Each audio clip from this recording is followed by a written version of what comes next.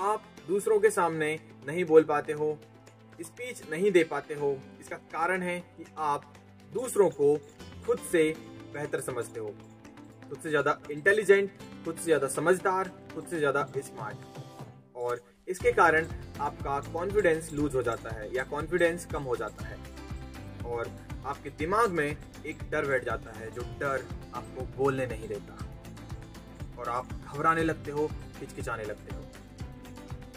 लेकिन वहीं जब आप किसी बच्चे के सामने या किसी ऐसे व्यक्तियों के सामने बोल रहे होते हो, जिनके सामने आप खुद को बेहतर मानते हो, तब आप बेहतर तरीके से बोल पाते हो, अपनी बात को रख पाते हो।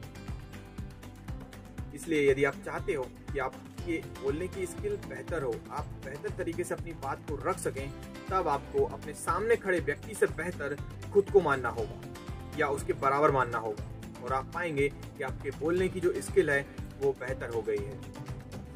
और यदि आप हमारे विचारों से सहमत हैं तो हमारे इस वीडियो को लाइक और शेयर करना ना भूलें। और सहमत होने पर ही इस सब्सक्राइब बटन को दबाएँ और बेल आइकन को दबाना ना भूलें।